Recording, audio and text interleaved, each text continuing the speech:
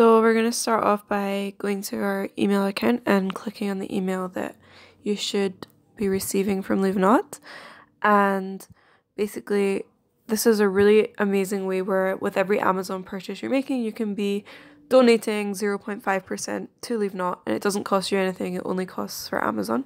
So go to the link, the smile.amazon.com, and log in with your regular email address for Amazon with your Amazon account. And I'm just going to sign in. And then you'll see here I'm signed in as uh, the account I made, Clever. And so go down and search Livnot.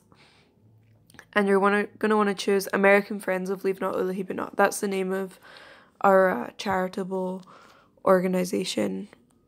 Um, so yeah, you can see it's the Livnot account. Select it and tick the box, and you're ready. That's as quick as it is. It's super easy.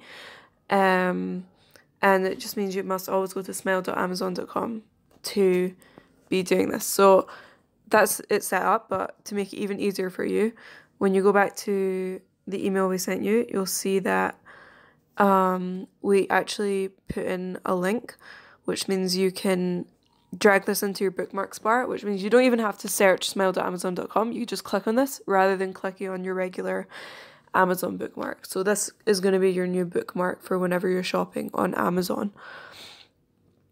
So just click on it. It looks exactly like Amazon. It's all the same and you'll see at the top under the search bar it says supporting American Friends of Livnot. If this doesn't come up for some reason, shoot us an email and we'll try and fix it for you. And yeah, that's you done. You can search for say headphones, whatever, and you'll see it's got all the same kinds of results that normal Amazon has.